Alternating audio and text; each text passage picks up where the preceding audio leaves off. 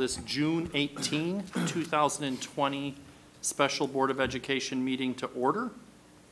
Mr. Anagnostou, would you take the roll? Mrs. Bissell, Here. Mr. Miko, Here? Mr. Roberts, Here. and Mrs. Hausum. Here. All present, would you please join me in the Pledge of Allegiance? I pledge allegiance to the flag of the United States of America and to the republic for which it stands, one nation, under God, indivisible, with liberty and justice for all. Next on our agenda is public comment. I see none. At this point in time, we will move into executive session to consider the appointment of a Board of Education member. Do I have a motion? So moved.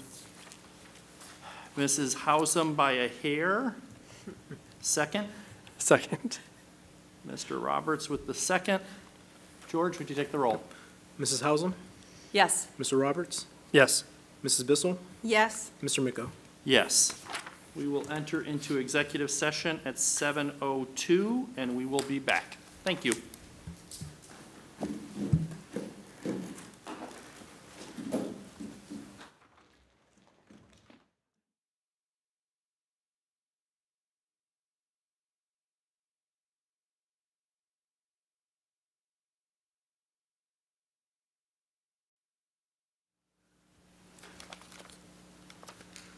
Is 7:40 PM, and we have resumed public session. Next on our agenda is resolution to fill Board of Education vacancy. Whereas a vacancy has been caused on the Board of Education by reason of resignation, and whereas this Board of Education has the legal authority to fill a vacancy for the unexpired term thereof, now therefore be it resolved by a majority vote of all the remaining members of the Board of Education of the Strongsville City School District that Sherry Buckner Salee be and hereby is appointed to serve as a member of the Board of Education of this school district for the unexpired term of June 25th, 2020, ending on December 31st, 2020. Mr. Miko, that's a Is that, correction. uh, do we need to change We that need date? to change it. 18. So I'm going to adjust that date for the unexpired term of June 18. 8, 18. 18, brain hiccup. June 18th, ending on December 31st, 2021. Do I have a motion? So moved. Second? Second. Motion by Mr. Roberts, second by Mrs. Hausum. Any discussion? I will say for the board, uh, once again, we had a, uh, a process that we are blessed in Strongsville. We had 12 candidates apply. All 12 were qualified. All 12 could have served ably on this school board. Um, That is a blessing for our city to have that many people willing to serve and to serve well. Our job, once again, is to choose the person that we believe is best for this board and for this school district at this time. And I am happy to report that we have found that person in Sherry, and we're very excited to have her uh, on board for this board. Um, So we welcome her, and we're excited to have her. Uh, It goes without saying that we have a lot of excitement in the district, and it'll be good to be at full strength and to have her insight as a business owner, as a certified public accountant, as a uh, adjunct professor at a university. These are all great skills that uh, she will be able to bring to bear uh, for the benefit of the students uh, in our district. So we're very excited to have her aboard, and we congratulate her. Anybody else? With that, Mr. Anagnostou, would you take the roll? Sure. Sure. Uh, Mr. Roberts, Yes. Mrs. Hausum, Yes. Mrs. Bissell, Yes. Mr. Miko. Yes, and the motion carries.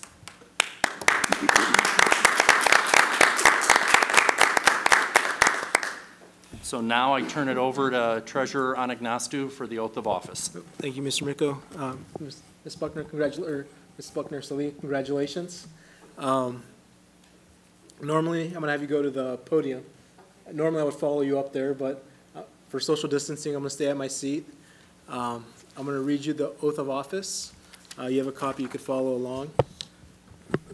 So, um, please raise your right hand. I. Sher- I, Uh, State your name. Sherry uh, Buckner Salee, Do solemnly affirm that I will support the Constitution of the United States and the Constitution of the State of Ohio, and that I will faithfully and impartially discharge my duties as a member of the Strongsville Board of Education to the best of my ability, and in accordance with the laws now in effect and hereafter be enacted during my con- continuance in said office and until my successor is chosen and qualified. I do. Congratulations. Thank you.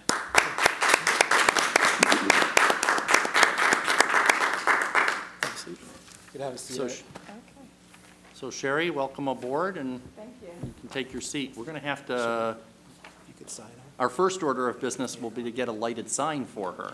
Secretary to the Board of Elections.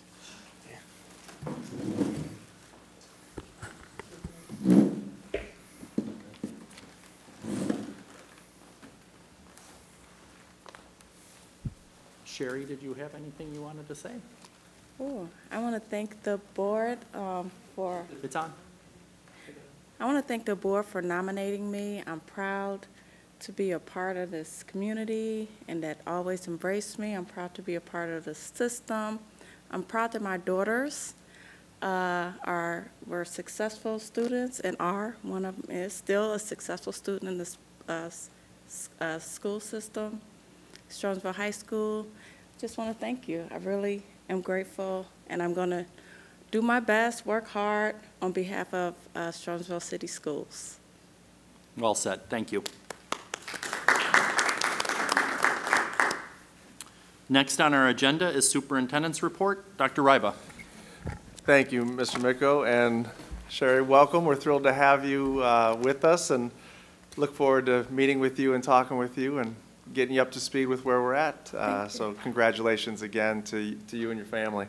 Thank you. Um, So what I wanted to do today, uh, while we were together, is to give an update on where we're at. I've got some slides uh, behind me that we can highlight. So uh, with where we're at for the 2020-21 school year and all the planning that's been, that's been going on.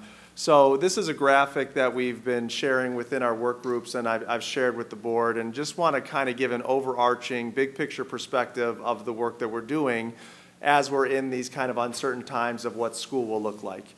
And so as we plan, we need to plan for three completely different environments um, for the 2021 school year. Um, And that first environment that's up there is in-person and in-building learning.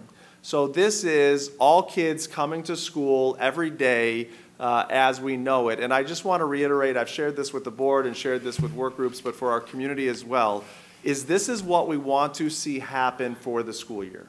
We want to have all of our kids back. We want to have our kids back five days a week, adhering to whatever restrictions or social distancing requirements are there, but this is what we're working towards.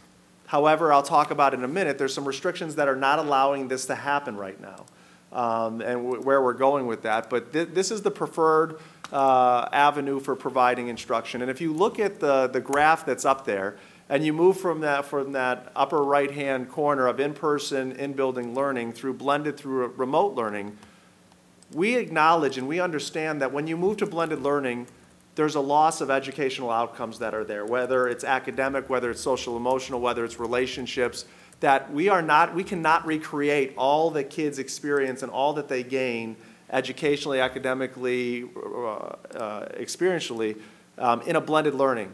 But when, when you look at the restrictions that we have in place, that's the best opportunity we have. Sometimes as an educational leader or as a superintendent, we have difficult scenarios and we have to, even though both scenarios may not be the most desirable, we have to select one that meets the best interest of, of the masses. Um, and that's what we have to look at. And when we go look at completely remote, that's even more of a challenge. And so what we're looking at is in those, if we cannot have in-person, in-building instruction for all kids every day, how can we uh, make the most out of a challenging situation? And how can we get the most out of a blended learning experience? And so a blended learning experience is just, it's that. It's blending a remote experience with an in-person experience into one's, one uh, platform. So what that means is that students would go to school for a certain number of days, and then they would take part in remote learning for a certain number of days. And so that's an option we have to plan for. And the reason we have to plan for that option is if social distancing requirements do not allow us to have as many students in the building as possible, or our classroom capacity is exceeded based on six feet uh, social distancing requirements. So if you look at, um, just in, in a basic calculation, we have, to- right now, the rules say that we have to have six feet social distancing. That means every student needs 36 square feet of space to be social distance. If you take a look at our average classrooms are from 700 to 900 square feet, um, and I can't do it in my head right now, but, you know, 700 divided by 36 square feet, it doesn't get to 25 students, uh, which is where we average out. So that's where we're saying we have to have some blended structure. The last part of that graph is remote learning 2.0. Well, Remote learning 1.0 is what we did from March to May. Uh, You know, we had uh, some some successes, we had some stumbles, um, and so we're looking at how can we evolve that? How can we evolve that in that blended structure where it's going to be, you know, part in-person, part remote, as well as what happens if there's a spike? What happens if, you know, the college model, right, is we're going to go to college through Thanksgiving and then no kids are going to come back until after the first of the year? What if something happens and the state says that's what you have to do? We have to be ready to have remote learning five days a week.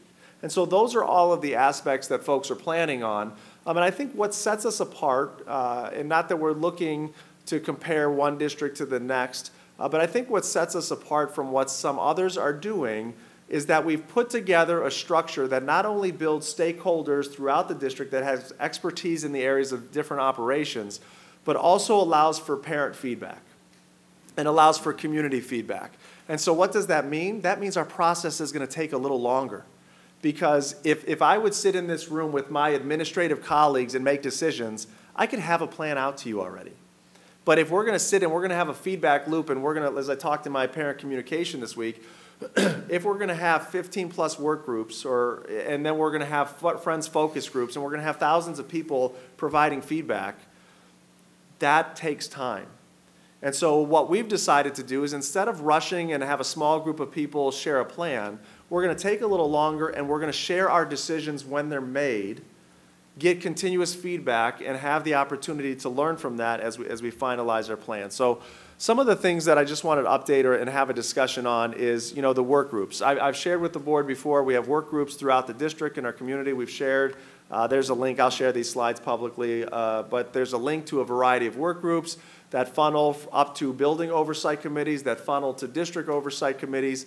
And, you know, I get asked uh, once in a while about, are the work groups working? Is the structure working? Um, You know, maybe I'm a little biased because I was the one that created the structure. Uh, But in, in terms of the things that are being discovered, the problems that are being solved, I can say 100% that the, the solutions that are being developed are much better than it was if I had a small group of people in, in the room.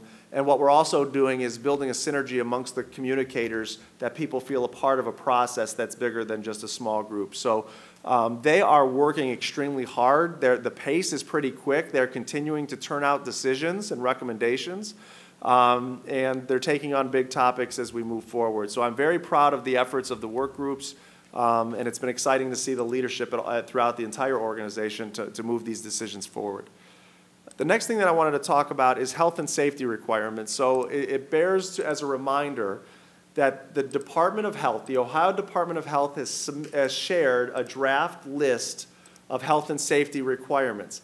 This is the only information that has teeth to it, that has requirements that says you can or cannot do this. Um, the two big ones in there that we talk about all the time, as currently stated, it says on any school district property, including buses, you must wear facial coverings or masks at all times. The second one is that you must maintain six feet of social distancing on all school property, buses, etc. Those two masks are one thing, but the social distancing is what necessitate all of these other plans, right? If there was no social distancing requirement, we could all come back to school, um, but that's uh, a part of the health and safety requirements. The governor said earlier this week that within 10 days, they would release the finalized health and safety requirements. We're all working on drafts, and there's a lot of rumors out there as to what the next version of the draft will be. Some rumors state that the face masks and the facial coverings are now going to be strongly recommended, but not required. Um, There has now been rumors that the six feet of social distancing requirement is going to be lessened a little bit. Um, But it would, the, the governor said he'll announce it in the next 10 days. There was rumors it was going to be today. That didn't happen. Uh, The next indication is that he's going to announce them at his Tuesday press conference. So we'll see what happens on Tuesday, but that is going to be a major decision point um, for us um, and where we go. uh, And the main part is what's going to be the social distancing requirement. So before I go on with some discussion topics, any questions or comments or feedback from the board on what I've covered so far? Okay, keep going. Uh, for- So for in-person and in-building learning, some of the things that we're talking about is, you know, what will be the social distancing requirement? Will, will it look the same in prior years? So what I want to share with the board is that based on, we've gone through our entire district and measured all of our classrooms. We know the square footage in each of the classrooms, each of the large space areas. And, you know, there's a calculator that's out there online that, you know, you could do the math, but there's a calculator that says, you know, how many kids do you need to fit? And it'll spit out, you know, here's how much square footage you need, or here's the square footage you here- have, here's how many kids you could fit based on these various levels of social distancing. If the state lessens, or if we have the ability to lessen to five feet social distancing, we could fit all kids back every day in almost every building in our district. So the difference between needing 36 square feet for every student versus 25 square feet for every student is a game changer for us. Um, so we will see what that happens. And, you know, there's been some other districts that have released, and I like the idea of, uh, you know, if we can get to four or five feet social distancing, here's our plan. If the state says six feet social distancing, here's our plan. Um, so that's one of the things, that's going to be a key decision point for us. But what I want to share is even if the social distancing requirement is lessened, and let's say we can go with five feet and get all of our kids back, school is not going to look the same. What that means to me and what we're talking about within our work groups is we need to assure that we're still providing a safe and healthy environment for our, our students. So if we can socially distance in a classroom, that doesn't mean that we won't have restrictions and how are we going to move kids throughout the building? How are we going to get kids on and off buses? What are we going to do at recess? How are we going to serve food? You know, are we going to have the same bell schedule at the high school or middle school? You know, how can we, this is just me contextualizing, you know, how can we ring a bell and have 2,000 students in the hallways at the high school at the same time? That's probably not going to work. Um, so I, I do want to share, you know, and have everybody start thinking about is even if we can get all kids back every day, school is still not going to look the same with the restrictions that we have to put into place for the health and safety of our students. Um, you know, some, we've gotten a lot of questions about renting office space. Like, okay, we get, if, if social distancing is six foot, we can't get more than, you know, 16 to 17 kids in a classroom. Most of our classes are 25 to 30 at the older grades. What about going into Foltz Parkway, or somebody said, you know, buying out Sears, um, or, not buying it out, but renting the space? Um, so I wanted to let you know that uh, the board has suggested that as well, and we've researched that. Um, we've gotten an average price per square foot of what that would be. Uh, looking at, we've, we've looked at, um, we've looked mathematically, is it possible and could we do it? Um, you know, educationally, I have challenges with saying we're going to have a mass open space and we're going to put all of our overflow into this mass open, space and how are we going to retrofit it with dividing that up and how is technology going to work and do we have business partners that are going to want thousands of kids coming onto their property um, with school buses? But just as a, as a starting point to the discussion, to rent the space that we would need um, and to have the additional staffing we would need, a conservative starting estimate is $1.3 million for six months. So that's something that, um, as we, as things evolve and, and we change or, or, and, and rules change, if it's something that would warrant further consideration, I think we have to weigh the pros and cons of $1.3 million at minimum. Is that best served in, in renting space and hiring staff to make that space work? And that doesn't even start to begin to talk about furniture and dividers and retrofitting space. Um, that's just a, a ballpark startup cost. Um, or do we put $1.3 million into other avenues of the organization to help with remote learning. Um, So those are things that we have looked at. Um, Could it be done? Theoretically, it could be done. I haven't had the conversation with the city officials to say, is there any building that really is open to have it be a, a pseudo school? Um, But I just wanted to share that and give a starting point for the dollar figures that we're looking at. Um, And then the last bullet point is, you know, our question is, will there be any prioritization given to certain grade levels and/or students? So one of the things that we've talked about is, how do we, how do we prioritize the needs of our youngest learners and our, and our learners with the greatest needs? And so one of the things we've built out as a scenario is, starting in the elementary level, preschool on up, if we use all of the available space in buildings, can we get grade levels of students in the building every day, all kids? And so based on our scenario planning, we could get preschool back, all for, all, their normal schedule. There's a, there's a little caveat to preschool, they've just changed the rules uh, for preschool, and we're still waiting on guidance, meaning they've come out and said, the State Board of Education has made a decision that uh, preschools, school-based preschools will follow the same rules as daycare centers, which means there's only a nine-kid student limit per class. What they haven't given us clarity on is we have a preschool that serves the needs of students with disabilities, and there's a law that says there needs to be an equal ratio of students with dis- disabilities and typical peers.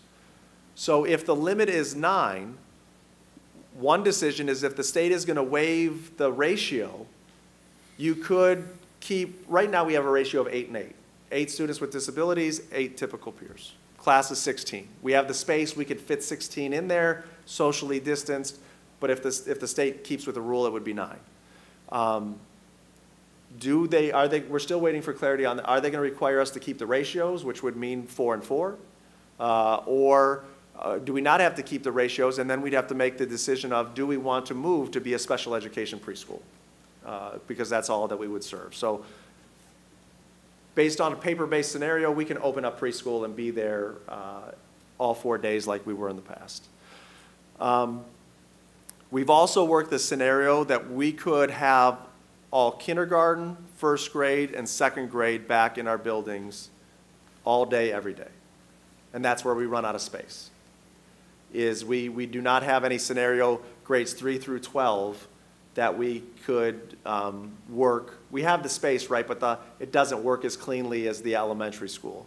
Um, And, and when I say about we can make it work, I want everybody to understand that this, in every building, this is a combination of some classrooms that are larger, uh, predominantly using our gym or multi-purpose room space and breaking that up into smaller rooms or smaller areas.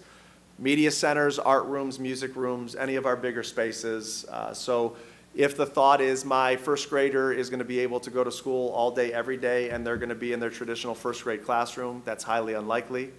Um, They'll either be in an art room, a music room, a divided gymnasium to make it work. So we've ran that scenario as well. Um, We also have another group that uh, is getting up and starting to work, uh, and they're, ex- they're exploring to, uh, you know, is there, how can we open up all day, every day for students that may uh, have the most significant needs? So our students with disabilities, our, our students, you know, Title, that get Title I services, English learners, all, all student groups that you can think of that may benefit, all students would benefit from all day, every day, right? Um, But if we have to prioritize, those are the scenarios that they're, they're working through. So those are some of the updates that I wanted to share in terms of where we're at and some of the work that we're doing for in-person, in-building learning, um, and where some of the conversations are at right now. I'll pause here to see if there's any. Cameron, I have a question in regards to, you talked about potentially the kindergarten, first grade, and second grade, being able to go back, and obviously utilizing all the different spaces, the, the art room and music and gym and so forth. If that is the, if that's an option and, and something we decided to, to look into more, would there be a need for additional um, staff and teachers to, uh, because of that scenario? Or would it be physically taking a class out of uh, a smaller classroom and putting it into a- a gymnasium or something else? It's, it's the second, so it's taking a class, it wouldn't need any additional staffing. because we're taking a class that would require one teacher and moving it to a spot where they could all fit with the social distancing requirements. So um, the only scenario where it would require more teachers is, you know, the one scenario is we divide all of the kids into smaller groups if we had the space to do so. That would require a second teacher because, you know, the, if we have a group of 12 and a group of 13, we need two staff members. If, because they're going to be in different locations, we need two staff members. But when you take, you know, like, like this room here, uh, you know, a, a 5,000 square foot space, you know, I can fit 30 kids in about 1,100 square feet. Um, You know, I can, I can take this and divide this up into two or three classrooms and have one teacher with the 25 kids or whatever it may be. So in that scenario, no additional staffing. That makes sense, thank you. So what would happen to the empty room that they would be moving from then? It, it depends in the building. Uh, for some of them, uh, a, a class, so if, if I'm a third grade classroom and I just happen to have a lot of square footage, uh, I'm gonna take a first grade classroom, put them in the third grade classroom, and the third grade classroom is gonna go to first because I only need space for twelve or thirteen kids in that blended learning schedule. Um, a lo- a lot of the, so that's one thing that would happen. Um, and then the other thing that happens is we have to keep I, I should have clarified this. So this would, this would be put into effect in a blended learning model. So we'd have, at the elementary level conceptually, we'd have K to two coming every day, and we'd need to make sure that they're in spaces that nobody else needs or it can be used in different ways. Three to five would be coming in, uh, not every day, but in a rotating schedule. So we need to make sure that we're not using the three to five rooms at all. Um, What this also precipitates is that if we do this, art is not going to be in the art room, it's going to be in the classroom. You know, all those names I mentioned, art, music, PE, they're, they're going to be in the classroom or uh, in an alternative setting or outside for physical education classes. It also necessitates, I don't believe any building has a plan that doesn't have use of a large area like this to make it work. That means that lunch is going to be in the classroom. So one of the work groups we talked about today is how do we build in movement breaks or um, opportunities for kids not to sit in the same seat in the same room from nine to three thirty at the elementary level. But for all of these decisions, there's trade-offs, and you have to prioritize is what's the greater need? Is the greater need getting our earliest and youngest learners in five days a week every day? And that means we're saying art, music, and PE are important, but we feel comfortable having them provided in an alternative manner. Um, Or do we feel that movement is the most important throughout the day? And that means all K to five is on a blended learning schedule. Kids are going to go to school two days a week instead of five days a week because we feel having a kid sitting, having a student sit in a desk in a room for all seven and a half hours is not in the best interest of the student. So in all of these decisions, we have competing interests, and ultimately, we need to decide which interest provides the greatest benefit to the greatest number of students. Thank you. Moving on to blended learning. So blended learning, again, is a combination where uh, not all students could go to school every day because of the social distancing requirements. So again, not to be redundant, but if six feet social distancing remains a rule that we have to adhere to, we have to go to a blended learning structure. And what that means, you know, it's a variation on the theme. We sent out a survey, you've seen what other schools are doing. It's how are we going to divide up the, the week into groups of students, two groups of students, because we can, we have enough space where if we divide the groups into two, we can fit that. Um, and what type of schedule is that going to be where students are going to rotate, where part of the week they'll get in-person instruction and part of the week they'll get remote learning? And so we are still working through some options. Uh, we've, we have finalized our decision on what the schedule will be uh, for students and how we'll group students and what days of the week they'll be. Uh, we are still finalizing some discussions internally about aspects of that. So I have a community conversation on Tuesday, and so on Tuesday, I'll go more in depth into what that schedule will look like, the days of the week it will be, how we're working to divide students. Um, so within the next five days, people will understand if we have a blended learning schedule, here's what it will look like uh, for my family. Any questions on the blended learning aspect? Just that I want to highlight, again, we have lanes. Lane number one is all students back together. Lane two is the blended learning option. Lane three is, is remote learning. So even though you'll be announcing on Tuesday that this is what blended learning it looks like, it's important to remind everyone that it's an if situation. And so, you know, as I've, uh, uh, thank you for reiterating that, Rich, and, you know, I, the analogy I use is we've got three plans on the bookshelf, and whatever the rules are, we need to be ready to pull the right, have the right plan ready to pull off the bookshelf to implement. Um, and so that's the work we're doing now and throughout the summer, um, so that we're ready for that and, and can be successful. Uh, so lane number three, going with that theme, is remote learning. Um, and so this is a current focus of the work groups. You know, once we've gotten through the blended learning uh, uh, structure and schedule, uh, this is what they're working on right now, and that they're working on two aspects. How does this integrate and marry with a blended structure? You know, what does remote learning look like when I have students part of the week, and then I'm going to uh, assign assignments later, you know, for other aspects? you know, we think about this is a lot of how college works now. You, you know, or even if you think of in-person college, like I went to Ohio State, we had lecture and we had recitation. You know, you have kind of, here's the big group instruction and then the, the small group breakout sessions. We've had in the past blended learning English classes where there's flexibility of we're going to do in-person a couple days a week and you're going to do remote a couple days a week. So that's one aspect of the plan that they're working on. And I just want to assure families, we've heard your feedback loud and clear that you want live instruction, you want teacher instruction, you, you, know, and that's things that they're working on. They're working on aspects of can I really provide, if I'm a student that's in school on day one, or I'm a student at home at day one, can I log in and experience the same instruction on Monday, whether I'm in person or I'm at home? Those are things that we're working on, and we believe we have possibilities of implementing those at different levels. Um, and, and so that's one of the things that they're, they're working on right now.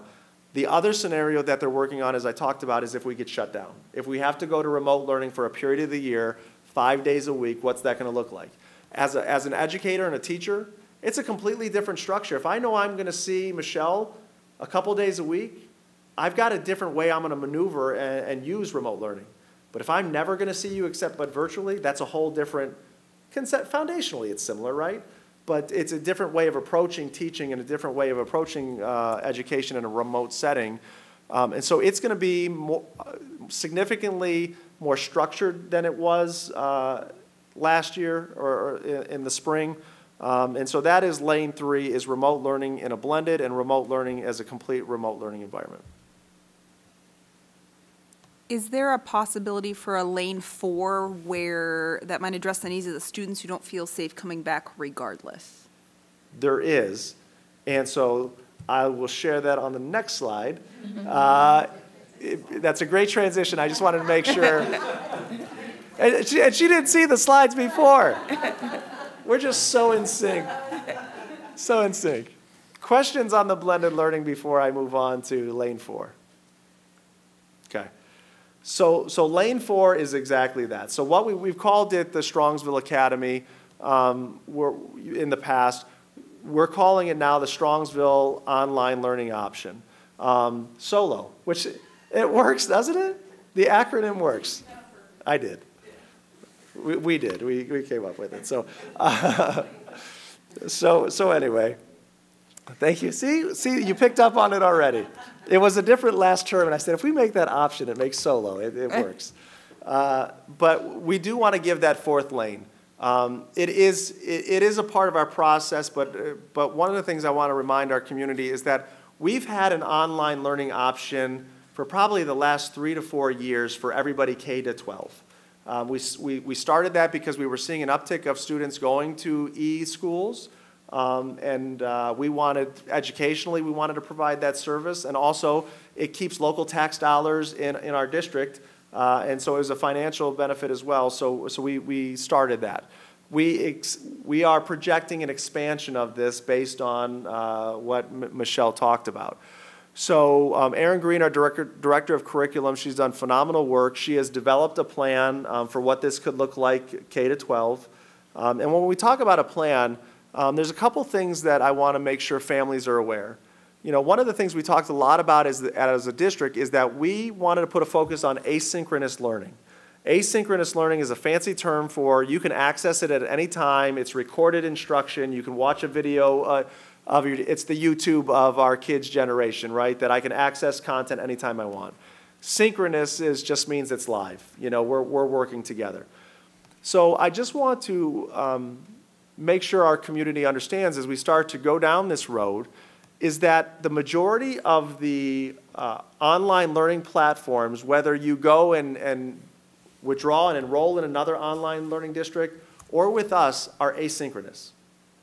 You're watching videos, you're reading, um, and there's a live teacher to check in, but the li- you're not logging on to see a live teacher do a science lesson and you learn with the live teacher. It is video-based, you know, self-paced instruction. So um, if, if families are looking and saying, well, you know, Strongsville didn't provide live instruction, that's what I want, I want to go to the Strongsville online learning option, um, and these are third-party providers that we contract with, that's not what you're going to get completely. Um, so there's a lot of decisions in there too. There's one price if you have a teacher providing, uh, you know, kind of in the background support. There's one price, you know, if you don't. There's also, we're doing a cost-benefit analysis once we get numbers to see, would it be better for us to hire a teacher that's going to oversee these platforms at different grade levels versus contracting that service out? So we have also developed a survey, it's an interest survey. Um, and we'll be sending that out on Tuesday to all of our families. And it's not a commitment, it's just saying, for the reasons that you stated, there, there's families that are saying, hey, until a, until a vaccine is developed, um, my, my child's not coming back to school, or I'm just too anxious about all the restrictions or masks or whatever it may be, um, that they want to go online. So this is an interest survey. It's going to help us to plan accordingly, because there's a cost to this for the district. Um, It will help us out to plan, like, will we see so many students that take advantage that will reduce class sizes to maybe where classes could fit all day, every day, because we've gotten down to 16 to 17 students in a grade level at a building? Um, But, uh, so we'll send that out on Tuesday. The one thing that is not going to change, and I can share definitively, when we roll this out to parents and you commit, you are committing for a semester. We are, and that's pretty much standard what a lot of our neighboring districts are doing. The reason being is we cannot, the- we cannot manage the numbers of kids continuing to go back month to month. So just keep that in mind as you, as you think what's best for your children, what's best for your family. If you take, if you take us up on lane four, uh, in the online option, you are committing from the start of the school year through, uh, winter break. And after that, you can decide to come back. Um, and we're gonna have you commit a semester at a time. So we'll send that out and get some interest. Cameron, is there, a- I guess, the opposite of that, where somebody starts deciding they want to go to school or or blended, whatever scenario they are, and then switch to the online? Is that possible, or is that, can that only be done at the semester timeframe? We haven't gotten into that much detail yet, um, but just my, my feeling of it is, is it's, I'm fine with going into it. It's the coming out that let- makes it a little more difficult, especially if we have requirements and class sizes and things of that nature. And, and the other part of it too, uh, is that the courses are built on semesters. So what we also don't want to have happen is that they're taking third grade math, they do that for a few months, they come back to live third grade instruction, and we're at a different pace. It's still the same curriculum, right? But we could be in a different pace. It's just not educationally sound for kids to keep bouncing back and forth. Um, so uh, they would get through a full semester of third grade math, and then it's a nice breaking point for them to come back to school. I think it, I think it's warranted just to mention, you know, we're trying to balance being customer service friendly. We're trying to balance being uh, respectful of each parent and their students, uh, how they're looking at this COVID situation, but we also have to plan. And to have people jumping back and forth to, you know, to just say, hey, a week before school starts, let us know which way you want to go. There's too much to juggle. We do need to plan, so I think the survey is a great way to get started, to find out, you know, thing, things like, if there is a, a large percentage of parents who want this option, that does mean, you know, some of our, uh, issues with five-foot versus six-foot distance could be radically different. Um, and I think the bus is the other one that, uh, not, uh, struggle's the wrong word, but the bus, busing is going to be an issue and how we deal with that. It is. Um, So we can get started with that survey and, and find out whether we need to drill down deeper or not. Yeah. Does the bus uh, issue happen to be on that survey, or is that something we're going to address later? We don't have it on the survey. One of the things that's very confusing right now, I mean, we're all getting a lot of mixed messages, right? There's, there's one set of rules for one group, and there's another set of rules for another group, so we're all experiencing that challenge. We haven't got, transportation and busing clarity has not been defined yet. So what I would like to do is just to pause a little bit on that one, uh, because again, there's been rumors that, you know, they, the state understands the real challenges we have with socially distancing on busing, and um, that there's, there's discussion that it may be allowed to, to, to alleviate the social distancing requirements, but require everybody to wear masks. So I think we need to get clarity from the transportation rules, and then we can send out a survey. Yeah. And just to confirm, the the survey that's going out Tuesday is just an interest survey. You're not committing to anything Correct. at this time, Yep. just if you're interested in it. Yeah, this is just an interest survey to let us know. Um, and, I, and I think what it helps also is this is probably when, one of the more popular questions I've received is, uh, and so I think it will help get it out there officially with everybody that this is an option. The, the uh, last couple things were just some miscellaneous items. Um, you know, one of the things we've been talking about in one of our work groups is adjustments to the district calendar. Um, and so we've reached, uh, somewhat of a recommendation conceptually, um, and I will be uh, sharing that on Tuesday as well. So we got some good feedback. We could share definitively so people can use the calendar to plan and understand. Uh, what I'll be able to share on Tuesday is, you know, here, here, here's the latest your kids are going to start. Here's the earliest your kids are going to start. You know, here's what we're doing with breaks and all of those other things. So, um, as I've shared with the committee today, this is truly a recommendation um, because as superintendent, there's a procedure. We have to go through a calendar committee, and then ultimately the board approves the calendar. Uh, so that's something that we'll talk about, and I'll talk about it in terms of a recommendation. Uh, but ultimately, the board is going to have to approve an adjusted calendar based on those recommendations. So that should probably happen in July sometime. Uh, the, the other thing that I just wanted to update the board is, you know, Seth, you talked about potential costs.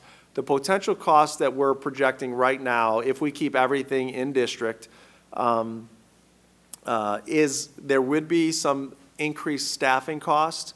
Uh, Two areas where we would see possibility of increased staffing. Um, If we decide to go with the K to two option, uh, that we bring back all day, every day, Whitney is the only building that I cannot make it work based on the classroom sizes and the available space. So Mr. Stacko had a great option, uh, other than taking students from Whitney and dispersing them in open rooms across the city or bringing them here to have school. Um, You know, he came up with a great option, and it would require one additional staff member to make that option uh, work. Um, So we'll be looking at that. The other staffing increase that, and again, this is all tentative, right? I just wanted to be transparent in what we're talking about. Um, I've asked Mr. Breckner and the head custodians to do an analysis of h- could they disinfect and clean the buildings on a nightly basis uh, to assure that all high-touch surfaces and classroom desks and furniture is disinfected to a standard that uh, is acceptable and and necessary. Um, He said, yes, we can do it, but he would need an additional evening custodian at each of our five elementary buildings. Um, so if you take a look at a lot of our elementary buildings, we have one, maybe one and a part, and an additional half of an evening custodian. Uh, so to do the level of disinfection, and, and this also means, I know I'm talking in different areas, but I think it's important to note that when, when our kids come back, the classrooms are not going to look like the classrooms that they left. And so we're talking about management practices and structural processes, but there's an emotional component to this. You know, kids are going to come in and see a classroom that's pretty empty with spread out desks and a teacher desk. And we've told our teachers that until further notice, your reading nooks, your, your, you know, your furniture that you bring in to make it a classroom community, it can't come back. It's been sent home and it can't come back because we cannot disinfect all of these surfaces each and every day. Um, so we're also working on, um, you know, how do we help transition our students back to an environment that's very different than, than what they left. Um, But to, to make it work at the elementary level, we would need additional custodial support. Uh, We feel that we're fine at the middle school and high school. Um, However, uh, we would have to, uh, in House Bill 164, which is a new law that was passed that uh, addressed uh, restrictions for, uh, and and kind of some reprieves for rules and laws for schools, the one thing that didn't make the final bill was giving districts the ability to close their buildings down after hours for non-school events.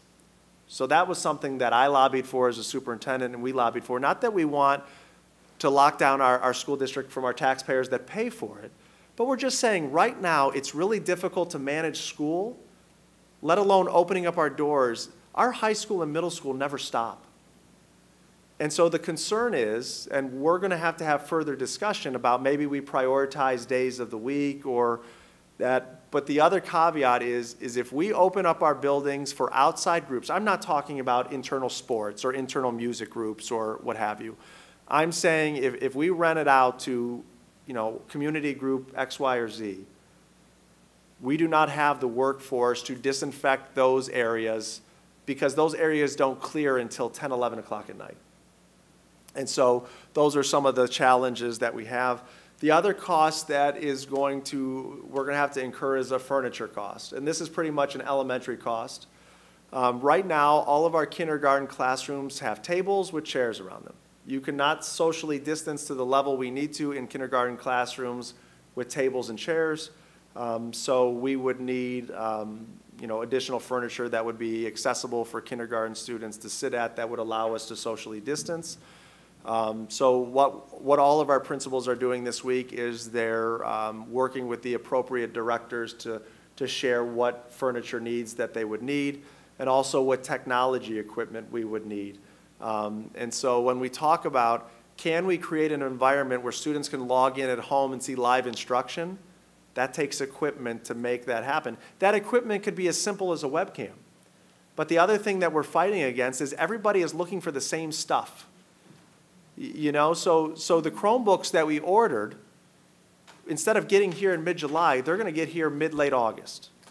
You know, so these are things that we've gotta be on top of so we, um, so we can get the orders in. So those are some of the additional costs.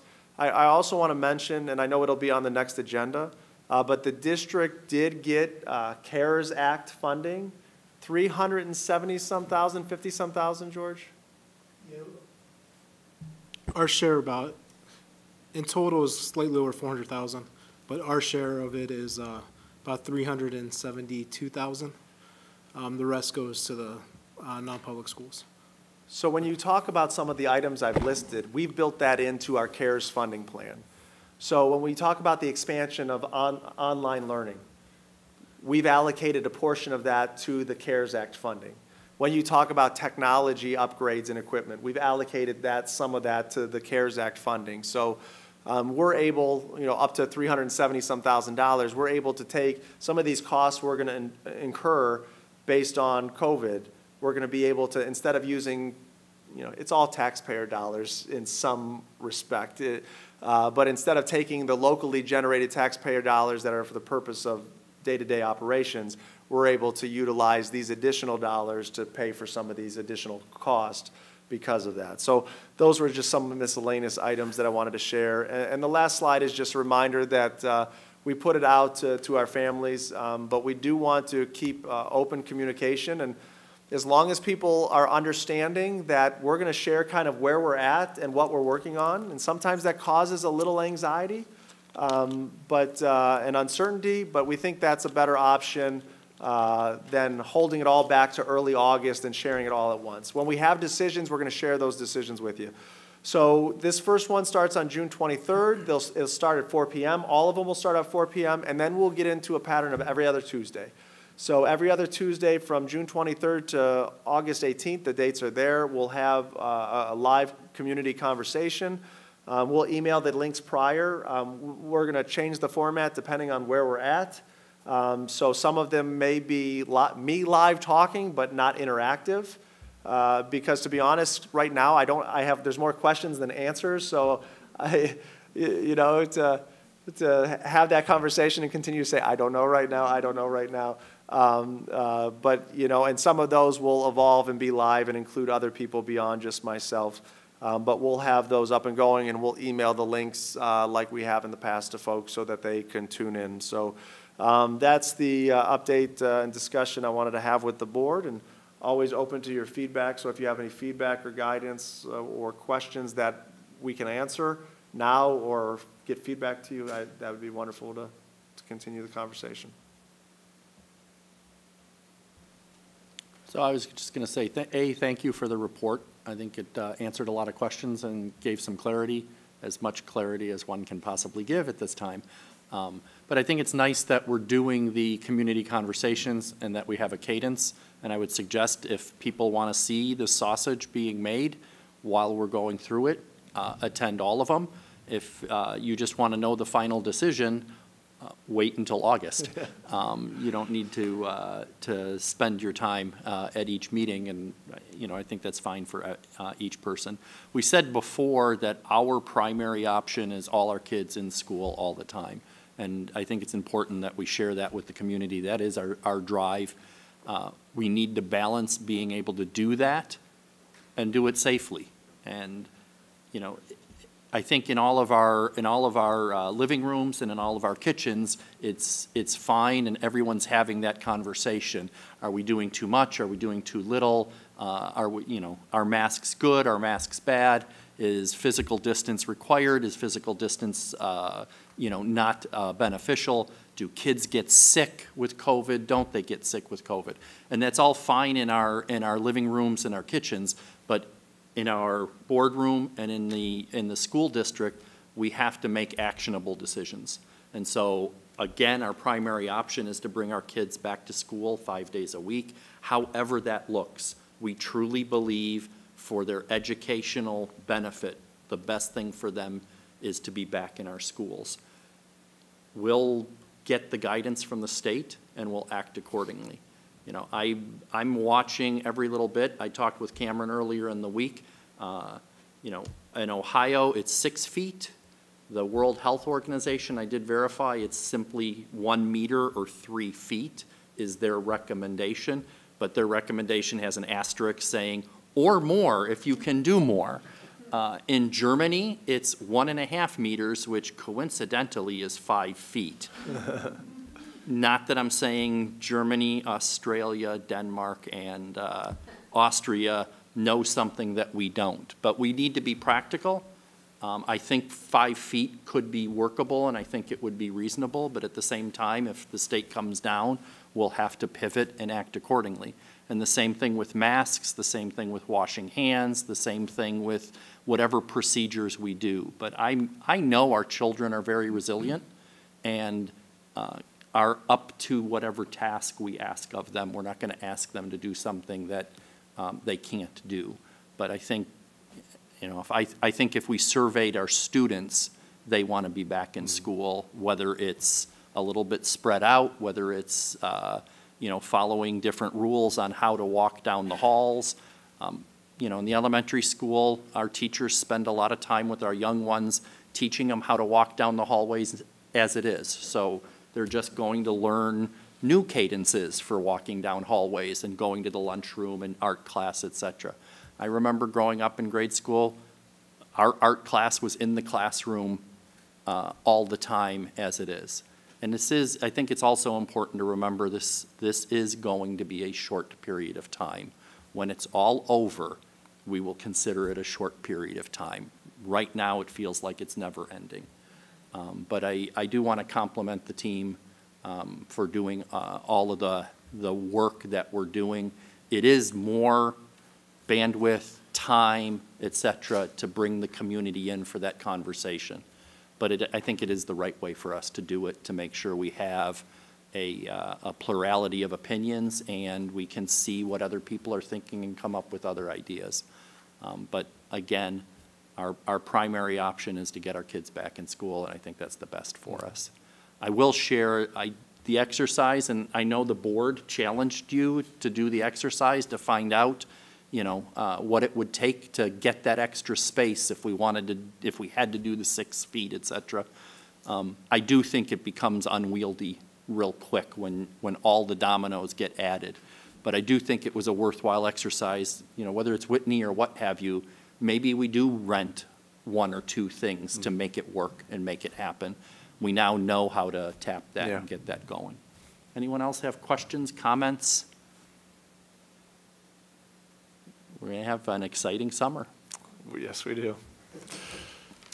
Okay, uh, next on our agenda, we do have need for a second executive session on the topic of, To consider matters required to be kept confidential by law.